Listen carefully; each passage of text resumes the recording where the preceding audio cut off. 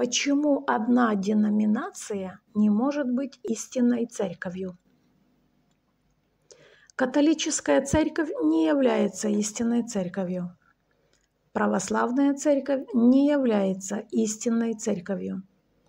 Протестантская церковь не является истинной церковью. Евангельская церковь не является истинной церковью. Мы не можем быть спасены если мы не принадлежим к истинной церкви. Вот почему деноминация не может быть истинной церковью. Если одна деноминация является истинной церковью, то это означает, что любой, кто не принадлежит к этой деноминации, будет брошен в ад. Почему? Потому что ни один человек не может быть спасен если он не является частью истинной церкви. Это звучит правильно для тебя?